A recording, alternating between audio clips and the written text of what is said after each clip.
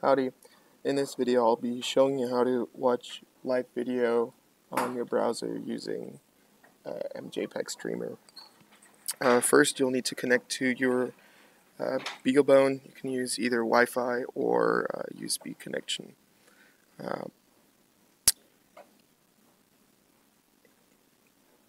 once you're connected you can use command line.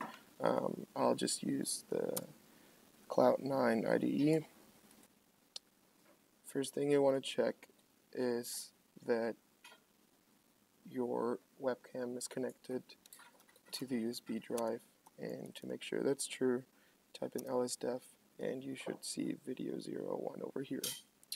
Um, if it's not there you might want to turn off the BeagleBone and connect the camera before you turn the BeagleBone on.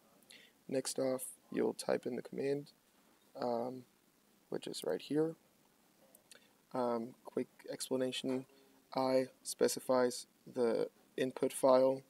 Um, you might have to change video 0 to um, the file that your camera is on.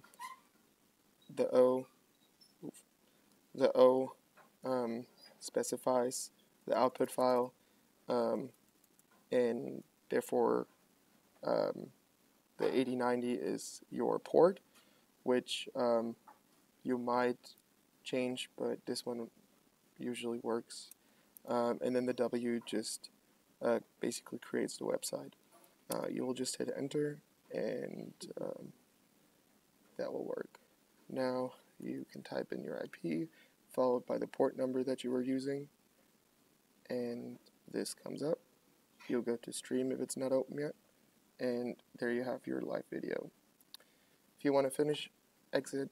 Um, you can just close it and control C and you're good to go.